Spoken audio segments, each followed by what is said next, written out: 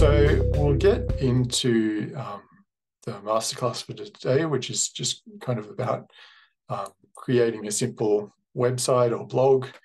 Um, yeah, either as a blog or just like a, a, portfolio for kind of advertising yourself a bit.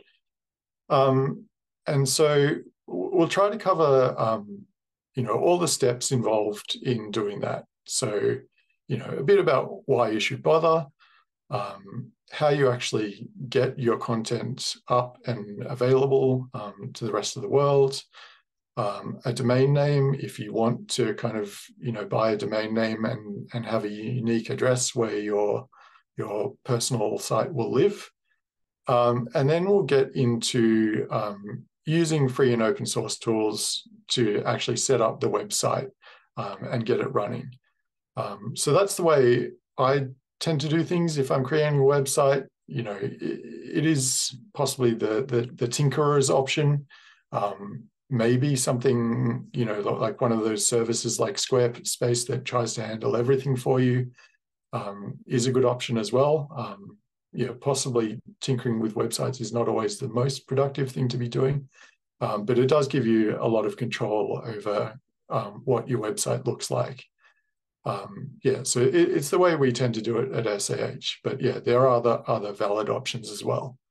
Um, and then we'll just try to go through a, a, quick rundown of you know what's good to have on your site, um, both from a technical perspective, you know some of the the technical things to tick off, um, but also just like you know what your content should look like, um, you know how you create kind of good shareable links um, that you can then share on social media if you're trying to get you know get your research out there. Um, so we'll try to go through a bit of that as well. Um, yeah, so we won't cover um, using things like Wix or Squarespace um, that are trying to kind of like you know make everything um, on your site buildable with drag and drop. but again, that might be a great option for you and and some of the content we'll get to at the end um, you know about what content is good to have on your site will still apply.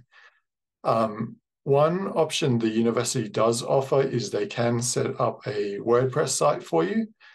Um, but those um, require approval. So you have to kind of go through some um, approval with marketing communications.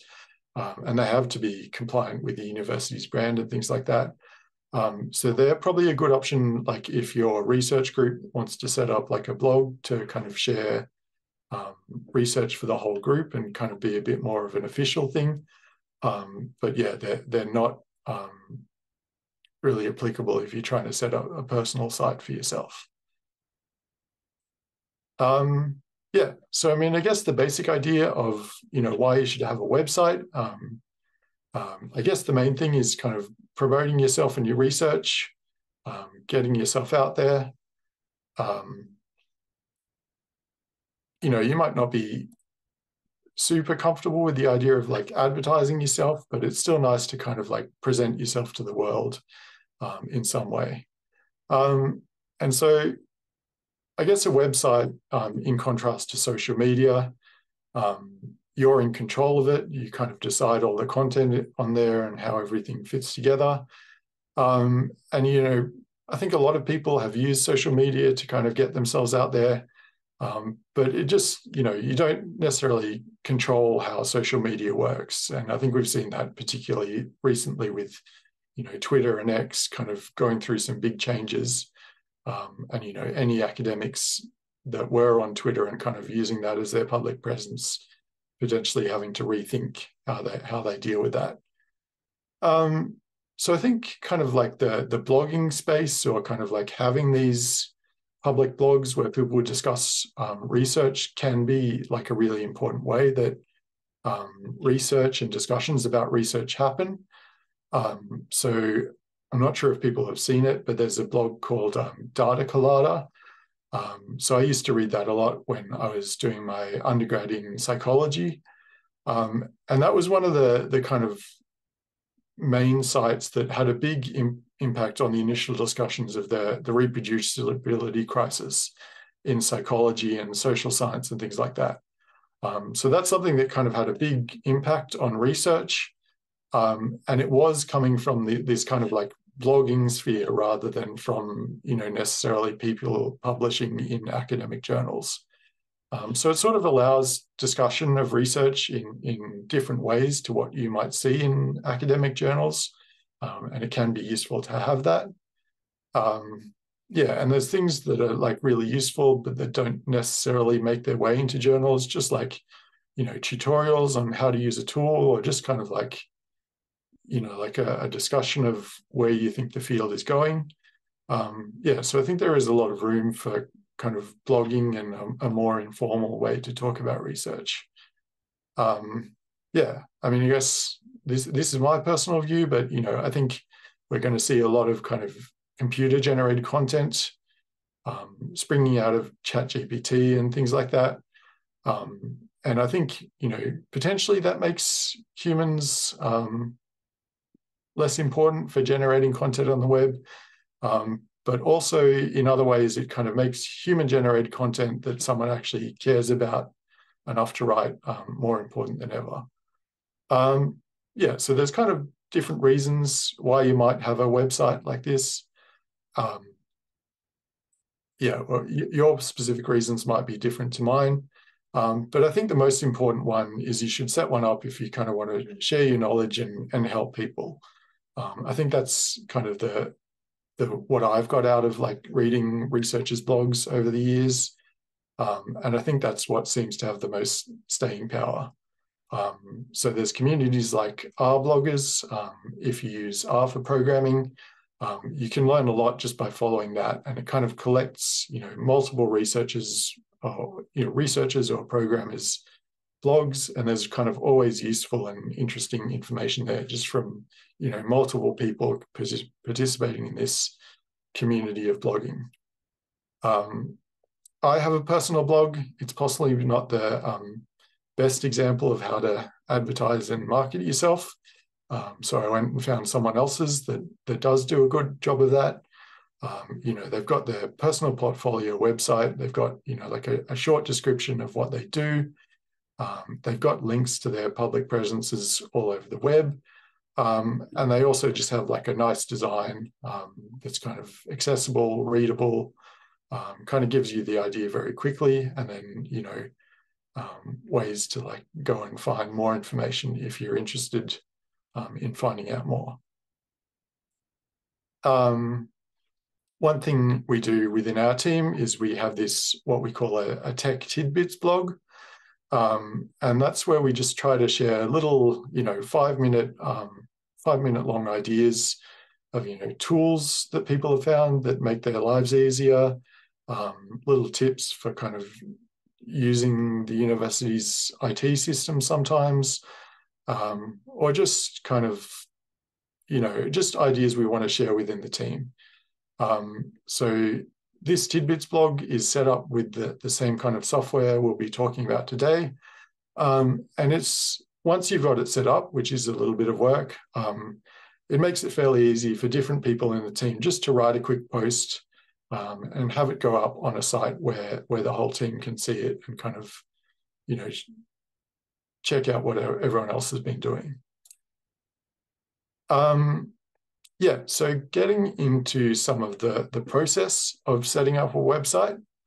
Um, so one thing you need to think about um, is hosting. Um, most blogs or kind of portfolio sites, like we'll be talking about today, only really need static hosting. So you get the HTML files that make up the website basically and, and store them somewhere on the internet and make them available. Um, the good thing about that is there's generally a lot of free options for that. Um, and even if you did need to pay for some reason, like you got huge amounts of traffic or something, um, it, it would probably still be relatively cheap. Um, so yeah, some of the options that we tend to use, um, just because we're using GitHub already to host our code and things like that, um, GitHub provides um, a fairly simple way to, you know, turn um, code that you're hosting into a website through its Pages service. Um, there's a competitor GitHub called GitLab that does the same thing.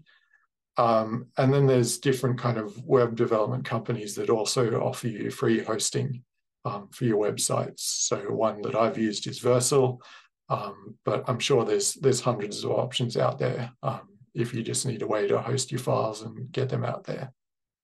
Um, yeah, so if you're not sure what a um, static website is, it's basically, you know, a website that's mostly made up of HTML pages um, that you can just store on the server, so nothing's being dynamically generated. Um, so it's a fixed set of pages that's basically going to be the same for all users. Um, and everything on the site is going to be public. So you can't have things protected by logins or whatever. Um, you can't have like secret information. Um, nowadays, that's kind of a little bit more complicated because static pages can have JavaScripts that can add all kinds of interactivity and, and data fetching and, and kind of logging into some services. Um, so it's potentially a bit more complicated than just saying a, a, static website is a totally fixed set of pages. Um, yeah, basically, yeah, the basic idea is that a static website, it works well for a blog because, yeah, you don't need to be um, dynamically generating um, the pages on the fly as people log in. Um, so one thing um, you can think about if you are trying to set up a portfolio for yourself and kind of having a public presence is a domain name. Um, we'll be talking about using um, GitHub Pages today. And if you're using GitHub Pages, you don't need to pay for a domain name because you, you set up your site on, on GitHub and it gives you this, this default um, URL um, that you can access your blog through um, or it's just yoursite.github.io. Um, but if you do want to pay for a domain name for yourself, you know, with your, your real name or something, um, they, they cost roughly $10 a year. Um, and that changes a bit depending on kind of like how marketable the domain name is, but your full name, um, if you use both your full, uh, first name and surname, um, is probably going to be something like that. And there's hundreds of these different um, top level domains now where you can have your address ending in .io or .xyz. Um, and they're, they're often a bit cheaper than if you really need the, the .com address.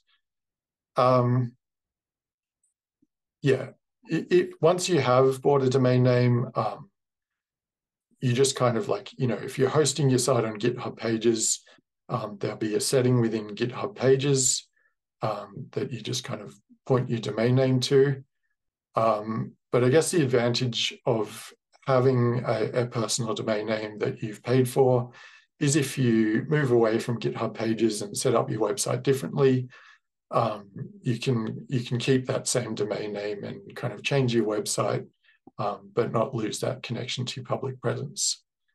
Um, so the the companies you use, like the services you use to buy a domain name, are things like Namecheap, um, Cloudflare, Hover. I'm not going to re recommend any in particular. I think they're all basically the same. Um, you know, and I don't want to be singling out a particular commercial service. Um, they might have some slight variation on, you know, the, the price you pay to initially buy the domain and the renewal fees. Um, but from what I've seen, they're, they're mostly pretty similar. Um, so um, in terms of the, the tools we'll use to actually create the site, um, what we'll be talking about today is, is Pelican, um, which is a tool that's, that's built in Python. Um, so you may or may not have um, experience with Python. The thing about Pelican is it doesn't really use a huge amount of Python code. It's mostly about just like writing the content and, and putting it up on GitHub um, if you're hosting it via GitHub. Um, but yeah, there, there is a little bit of Python there. Um, and yeah, we'll talk about Pelican today, but there, there's a few other tools that are very similar um, that are built in R or, or something else. Um, and that they all work in basically the same way. Um, so in terms of the technical skills um, you need to create a website with Pelican, um, you basically need to get your head around Markdown, which is how you'll write most of your content. Um, and that's basically this, this plain text format um, that allows you to specify things like bold and italics and links um, just by like, you know, you know, putting asterisks around a word if it's in italics. You know, there's some the bracket syntax for links. Um, it's it's fairly simple, um, but yeah, you just kind of need to get used to um, writing in that format. Um, you do probably need some basic um, terminal or command line skills because you kind of install Pelican um, via the terminal and then you run some commands to, to preview or generate your site in the terminal. Um, and then you just need to um, upload your site and its files to GitHub. So in terms of getting started with those kind of things, if, if you haven't done them before, um, what we would probably recommend is using um, Visual Studio Code, um, which is a good kind of programming editor that's really good for like the plain text files you'll be writing in Markdown. Um, it can potentially help you um, get your head around the terminal because it does have a built-in terminal. Um, and then, yeah, you, you can do some Git or GitHub things through it. Um, but you might also want to install the, the GitHub desktop app, which tries to be kind of a, a user-friendly um, GUI for GitHub. Um, yeah, so like I said, um, yeah, it, it, generally doesn't involve, you know, pro programming skills to generate these sites.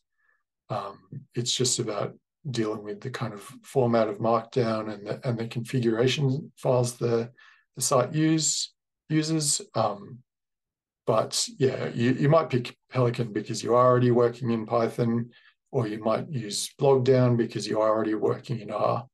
Um, but from then on, um, yeah, it, it's not necessarily um, a huge amount of programming involved. Um, yeah, so the alternatives to Pelican that, that basically work the same way. Um, there's Blogdown, which runs in R.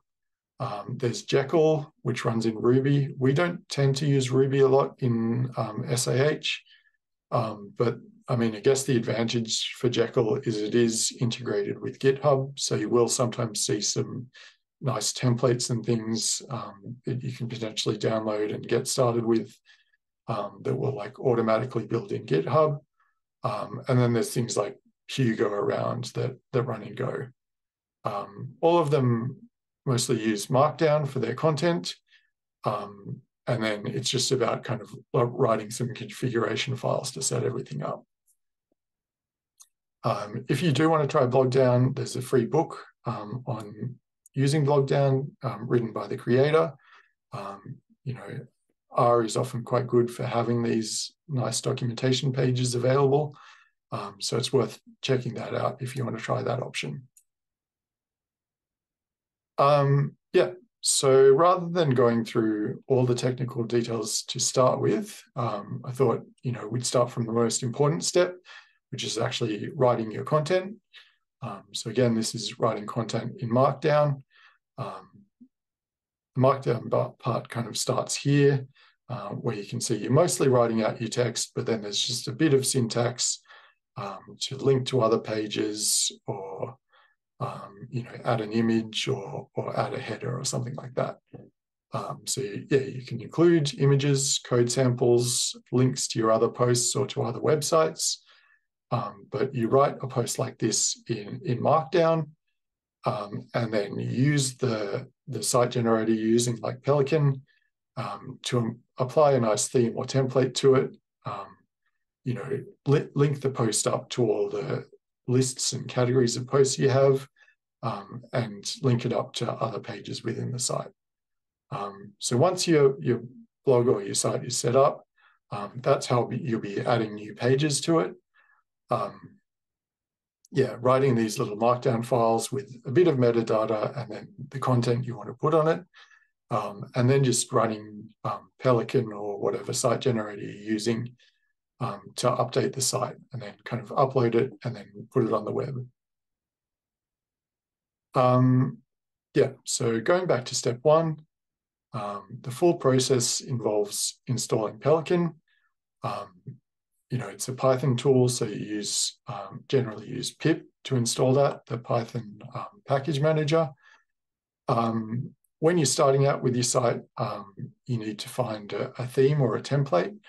Um, so there is a big list of them at um, pelicanthemes.com. Um, you'll find that some of them are not particularly well maintained, um, but yeah, there, there, usually are a few popular ones that are fairly well maintained and easy to use.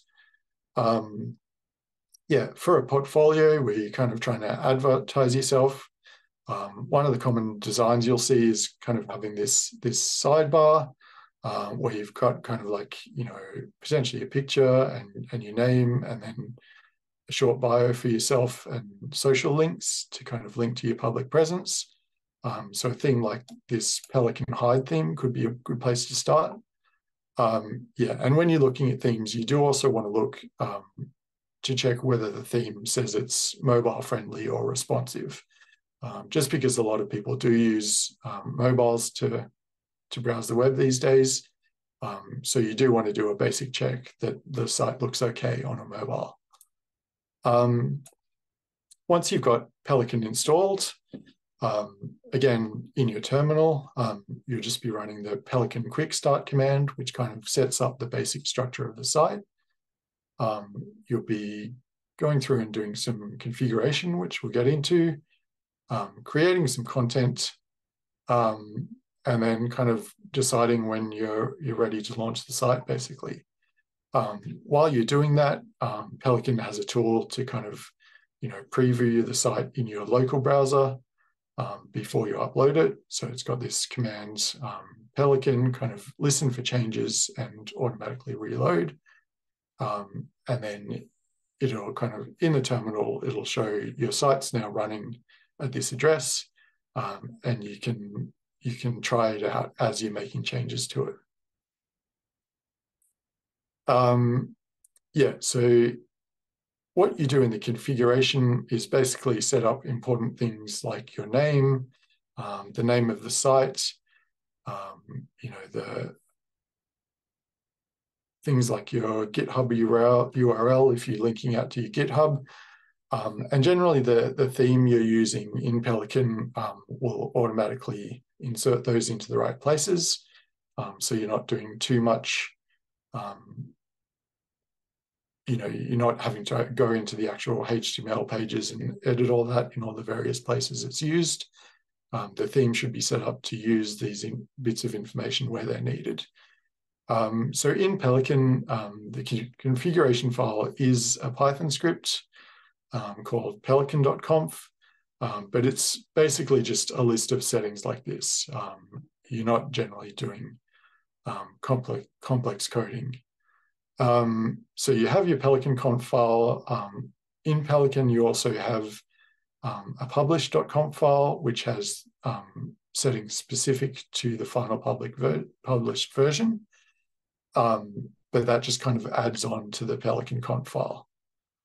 Um, yeah, depending on the theme you're using in Pelican, there might be some extra options um, that might make it easy to set up things like Google Analytics. Um, so it's worth reading the documentation for your theme um, and seeing if you can turn on things like that.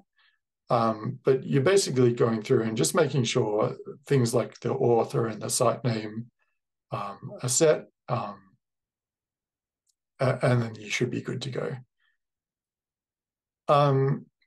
Yeah, so when you go to publish, again, you're just running a, a Pelican command in your terminal.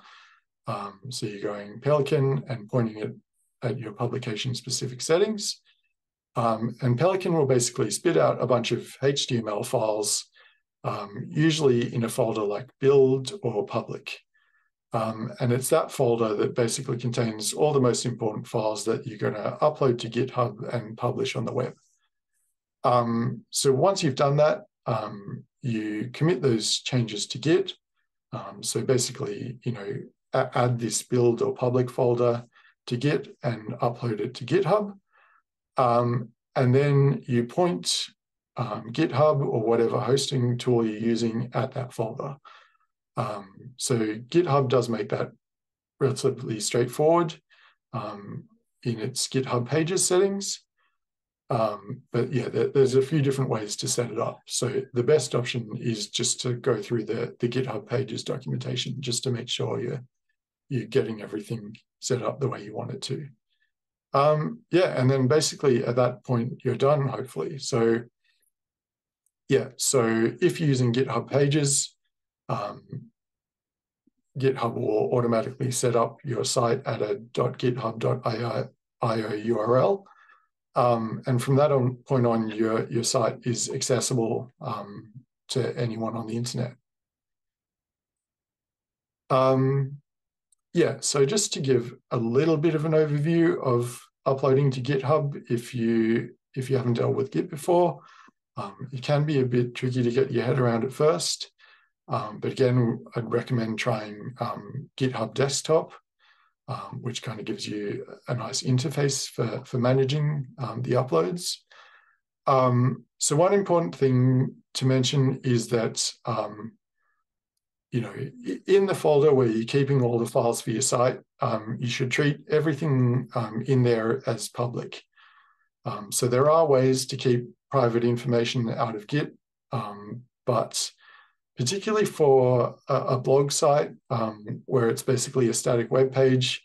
You know, everything on your web page is going to be publicly accessible, uh, and you should probably think of everything in in your folder as publicly accessible as well. Um, yeah, so just be wary of that when you when you're checking things into Git and uploading it. Um, but basically, um, you know, you're writing new posts you're rebuilding the site to create that build or public or docs folder. Um, and then you're just adding all those changes into Git and uploading it to GitHub. Um, and if you are setting up a personal blog, um, it's probably best to use the public github.com. Um, if you're not aware, um, the University of Sydney also has its own internal GitHub um, for kind of your research work. but it's potentially a bit trickier to, to make the sites there um, available to the public. Um, yeah, so just use github.com for, for creating a publicly accessible site. Okay, um, so like I mentioned, um, yeah, I tried to keep the, the technical details of, of using these um, site generator tools um, fairly brief and just kind of give you an overview of the steps involved. Um, but yeah, feel free to ask questions if you have them at the end. Uh, we will try to help people with that. Um, but yeah, what I wanted to get onto now is kind of, you know, what makes for good content on a website. Um, so the first thing I'd say is, you know, I, I was, I was and still am, I guess, in the, the academic world. And I know what academic writing looks like, and it's not good writing for the web. So when you're writing for the web, um, try to make sure you know you're writing short paragraphs using active voice. Um, academics are particularly bad at using passive voice for everything.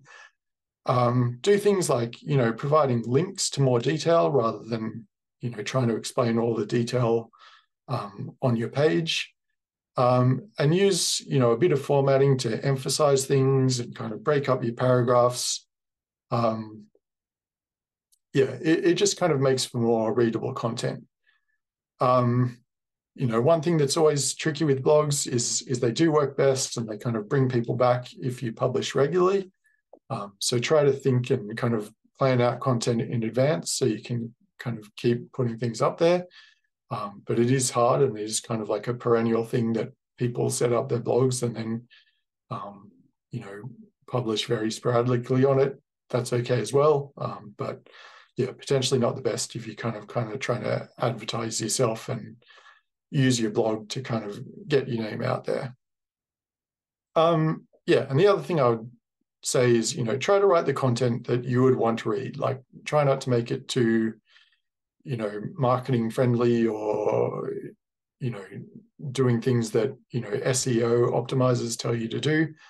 Um, write tutorials about things you figured out how to do you know, write your well thought out opinions on things you're thinking about, you know, write fun posts on fun ideas you've had.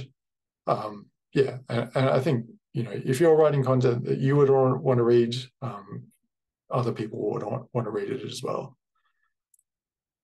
Um, yeah, in terms of advertising yourself, um, yeah, I guess the number one thing to do is just make sure that on your site, you know, front and center, um, you do have um, links to your presence elsewhere.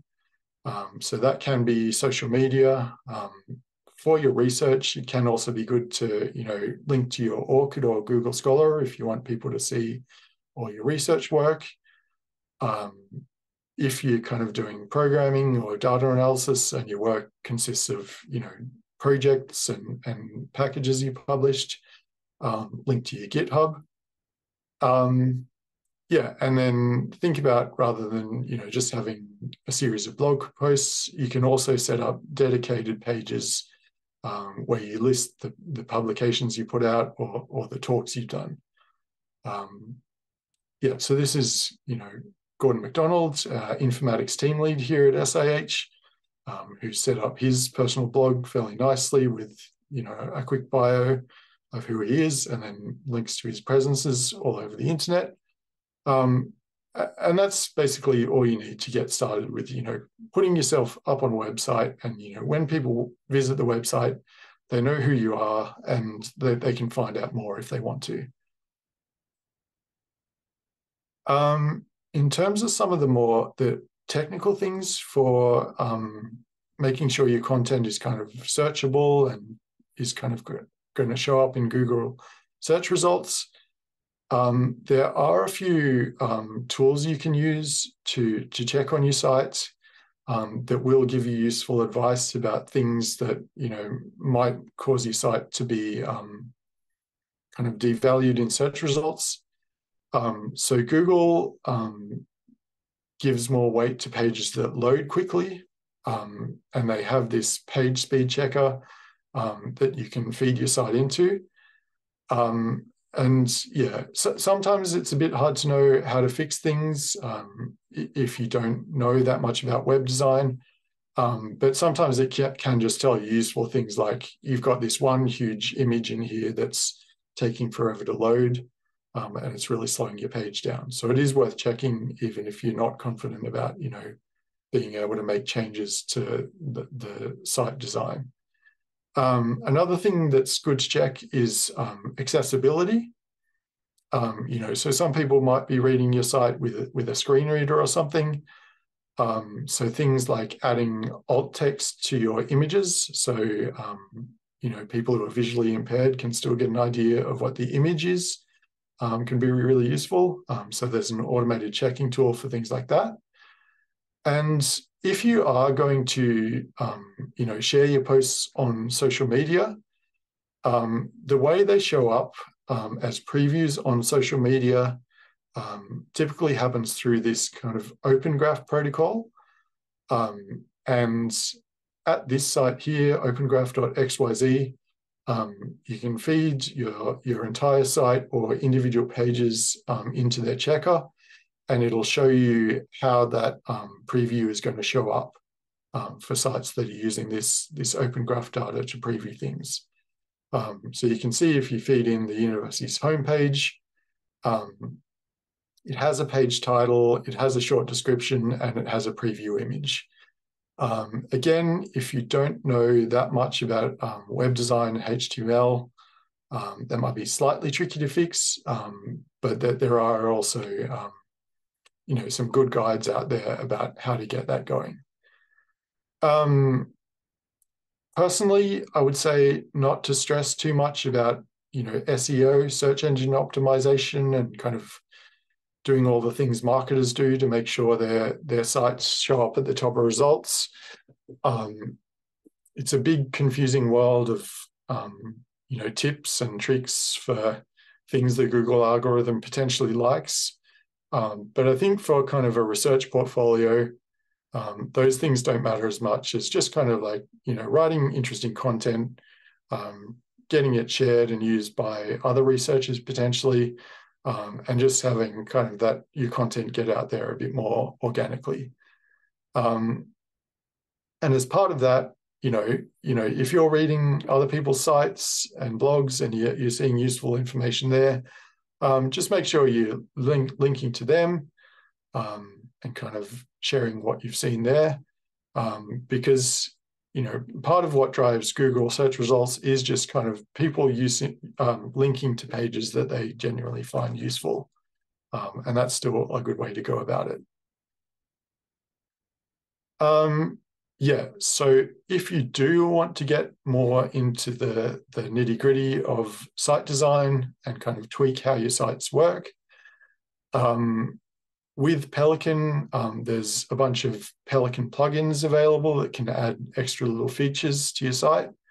Um, so you can do things like set up a search um, search functionality for your site. Um, you can have those little things where next to your articles you say, you know, this this page has a five minute estimated reading time. Um, those do require a bit of extra setup, um, but they also, you know, integrate fairly smoothly with Pelican. Um, so they can be quite quick to set up.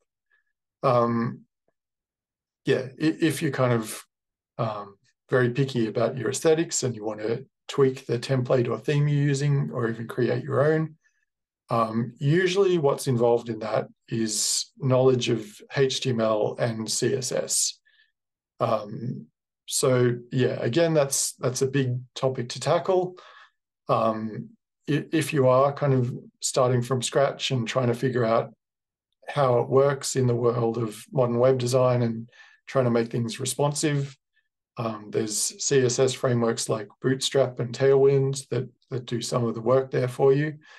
Um, but yeah, even as a, a, bit of a tinkerer and a tweaker myself who has made my own custom theme for a blog, um, it probably wasn't the most productive way to spend my time. And you know, if you, I wanted to like, you know, has it have a successful blog that kind of got out there and got shared, um, my time probably would have been better spent writing new content that people found interesting. Um, yeah, so it is a little bit hard to pick a theme you like and that kind of works well. Um, I've tried to give a quick list of them here just so you have somewhere to start. Um, but again, it's going to come down a bit to your personal preference um, of what you like in um, website design. Um, yeah, but just starting off here so you know that there's some decent ones that are kind of up to date and working well. Um, yeah, and that is basically it for the content I had for today. Um, so yeah, we've got all our links to our presences in different places. Um, I think after this talk today, we'll try to upload it to YouTube, and we're trying to doing trying to do that with our masterclasses particularly, but also some of our other training courses. Um, so it's worth checking that out.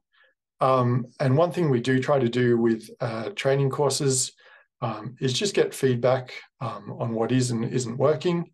Um, I think we will send out an email with a link to this training survey um, if you're not getting it via the QR code now.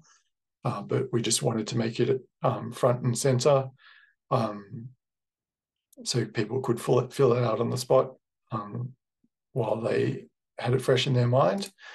yeah, so we'll be sending out an email with a link for feedback um, we'll also send out the slides because there are a few um, useful links through here.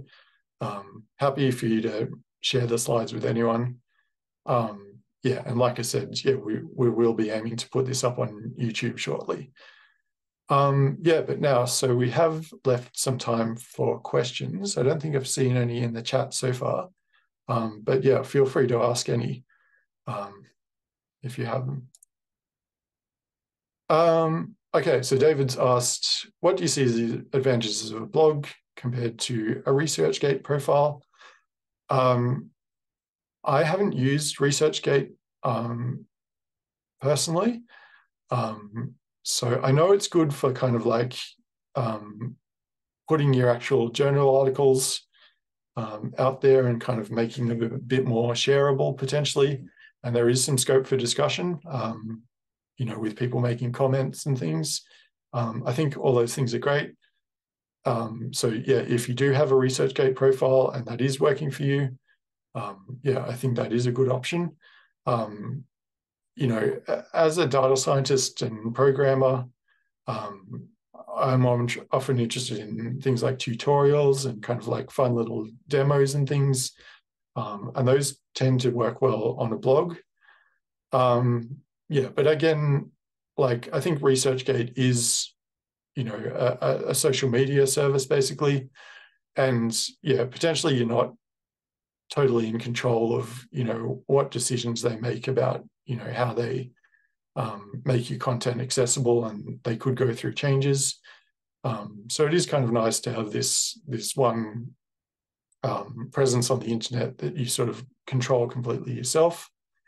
Um, yeah, and, and once you have them, the blog set up, um, you know, like we did with our team tidbits blog, um, it does potentially become um, something that multiple people can contribute to fairly easily, um, which I guess is maybe a little bit harder with um, a ResearchGate profile.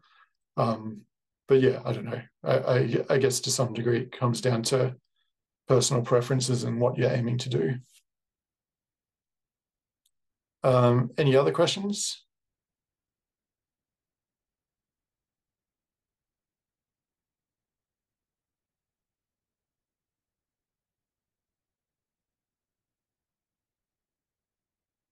Uh, yeah, so it doesn't look like people have any particular questions. Um, so like I said, yeah, um, you know, check out our other training courses. Um, feel free to come along to Hacky Hour next month. Um, so September 20th, I think, um, you know, for help with, you know, potentially web, web getting a website set up, um, you know, potentially any coding or data questions you have, and we'll try to help you out. Um, but otherwise, thanks for coming along today.